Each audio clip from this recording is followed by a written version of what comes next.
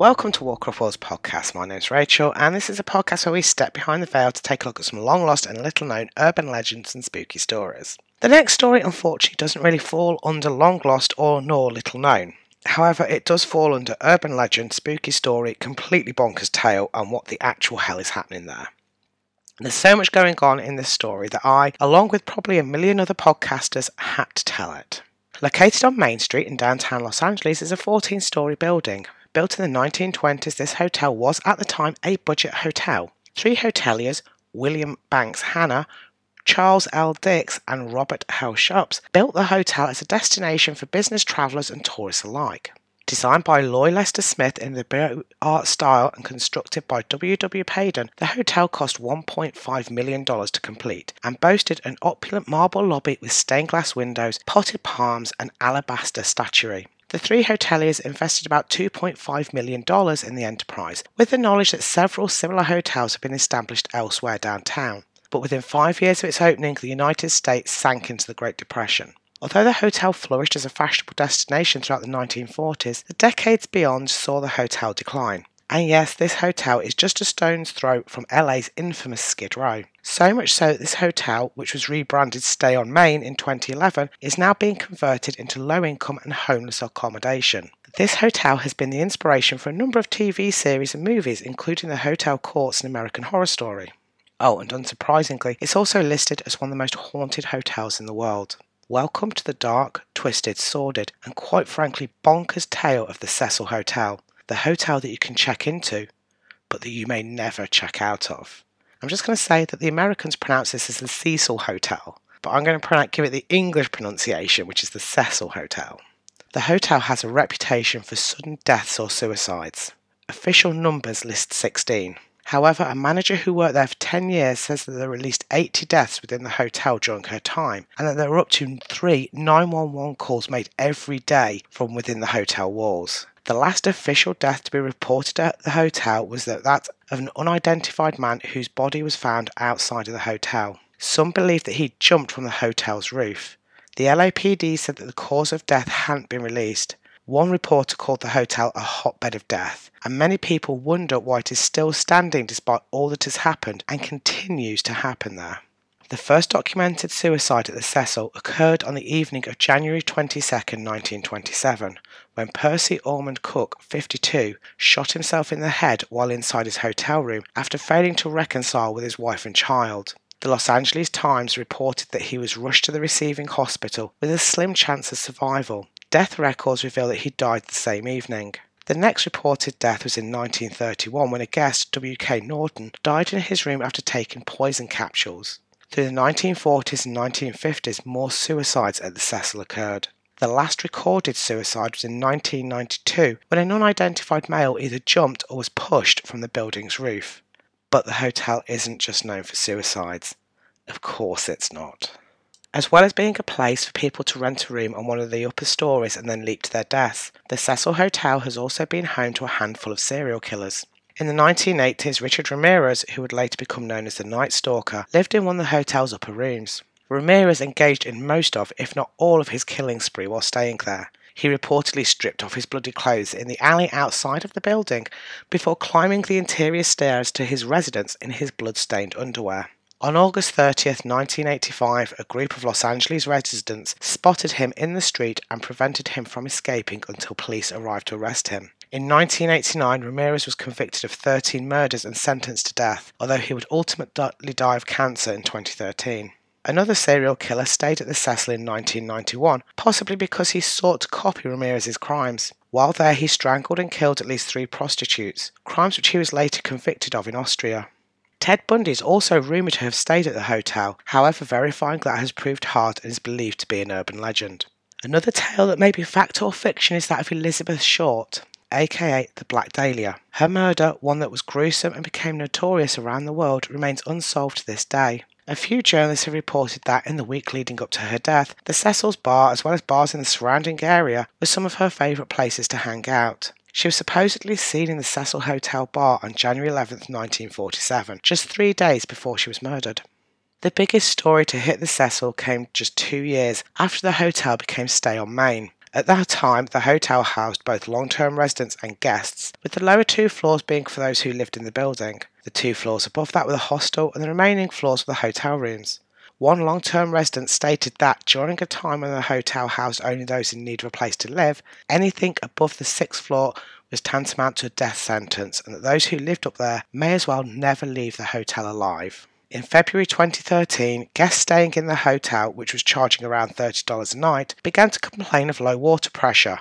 When water did flow, they were complaining that the water was discoloured to the point of looking rusty. Maintenance workers went to the roof to investigate, and what they found in one of the tanks shocked them. Floating in the water was the naked and rapidly decomposing body of a young woman. The young woman was identified as Eliza Lam, and her story has been told a million times in the last 10 years. Eliza was a lone female traveller from Canada who, since arriving in the US, had been in regular contact with her parents back home. Her contact abruptly stopped on January 31st, and on February 1st, her parents reported her missing. Footage of her acting erratically in one of the hotel's elevators went viral. She was seen to duck in and out of the car, press numerous buttons, and peer around corners as though trying to see if she was being followed.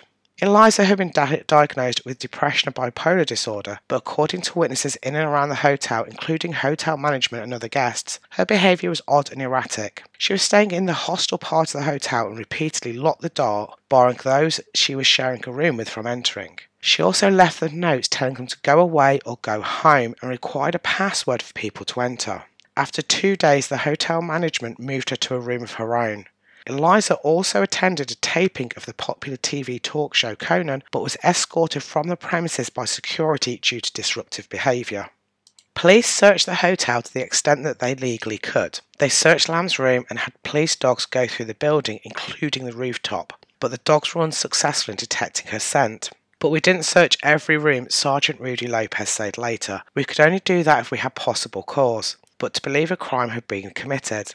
On February 6, a week after Lam had last been seen, the LAPD decided more help was needed. Flyers with her image were posted in the neighbourhood and online. It brought the case to the public's attention through the media. On February 13th, nearly two weeks after her disappearance, the police released the now infamous elevator footage. The video, which comes in at nearly two and a half minutes long, made many viewers feel unsettled. Many people said that they felt that she was on drugs, perhaps ecstasy, or that she was trying to escape from someone pursuing her. No one was quite sure how she ended up in the water tank, as there were no ladders attached to either side of them, nor is anyone certain of why she escaped to the roof. The roof and the tanks, I believe, were also locked and alarmed, so somebody should have been alerted that someone was going up there. It's generally believed that she shed her clothes once she realised that she was drowning in an effort to reach the top of the tank. Eliza's tragic death was ruled as accidental, with a psychotic episode being a triggering factor. She was just 21. In 2021, Netflix released a documentary series about Eliza's disappearance. The Vanishing at the Cecil Hotel interviewed people who'd lived and worked in the hotel during Eliza's stay. One of those people was former manager Amy Price, who worked at the hotel between 2007 and 2017. It was she who was quoted as saying that during her time there, she witnessed up to 80 deaths and dealt with thousands of 911 calls from within the hotel. So, what of the hotel now? In 2017, the year that Amy left, the hotel began to undergo more renovations. These were halted in 2020 due to the COVID 19 pandemic. In the months that res- renovations had stopped, people filmed all kinds of strange things happening within the hotel, from lights that came on one day but were off the next, and fires starting in, in unoccupied rooms. Prior to that, people who had stayed when the Cecil was a functioning hotel had reported shadowy figures. Some had even been photographed. Stranger still are the photographs that appear to show spirits leaving the hotel via the room windows high above the street. During the time while the hotel was shut down, internet personality Pete Munzingo moved into an apartment directly across from the hotel and began to document its daily life. Much like others before him, while the hotel was empty and awaiting the renovations, he recorded lights turning on and off, fires, and other strange activity. Ghosts have appeared in some of his videos, and he's spotted at least one person climbing onto the roof and of the vicinity of the water tanks that Eliza drowned in and not coming back down. Pete says that on average, the road around the hotel is closed at least once a week while authorities deal with whatever is happening inside. And he's been banned from entering the property. However, that hasn't stopped him from keeping an eye on what happens within the hotel. Some of the residents living within the hotel's walls keep in contact with him via messenger, and their stories are as creepy as you can imagine them to be. Knocking in water pipes, shadowy ghost sightings, and the mayhem that comes from housing so many people in such a strange building. A video taken during renovation work showed a door opening and closing of its own accord. Some claim that the video showed an automatic door.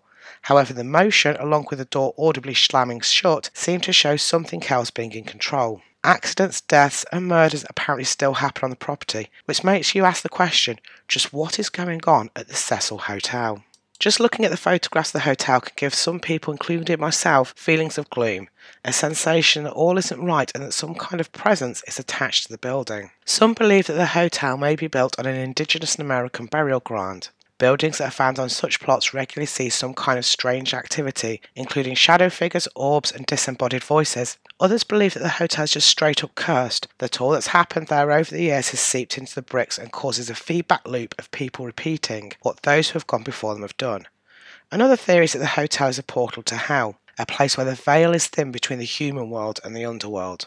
Numerous people have held paranormal investigations within the hotel, Nearly all of them have had some kind of result, including ghostly figures, strange voices, and sounds echoing through the empty property. Some have found evidence of black magic and Satanism. Some have even filmed spirits following them along the hallways. What we do know is that in the last six months there have been multiple calls from in and around the hotel, crimes including abuse, theft of all kinds, stolen vehicles, and homicide. There has been at least one person who has jumped from the hotel and another who has tragically hanged themselves from a balcony. The hotel definitely feels weird. People who have stayed there have reported feeling the same, and those who live there now are still reporting the same strange, oppressive feeling. The mystery behind the Cecil Hotel may never be solved, as will some of the stories that have come from within its walls. For now, it still stands over Main Street, its presence a constant reminder that no matter how hard we try, evil is ever present. And that, ladies and gentlemen, is the strange tale of the Cecil Hotel. The hotel where you could check in, but may never check out. If you like your books a little on the weird side, please feel free to check out our website at www.roswellpublishing.co.uk. Thank you so much for listening, and until next time, stay spooky.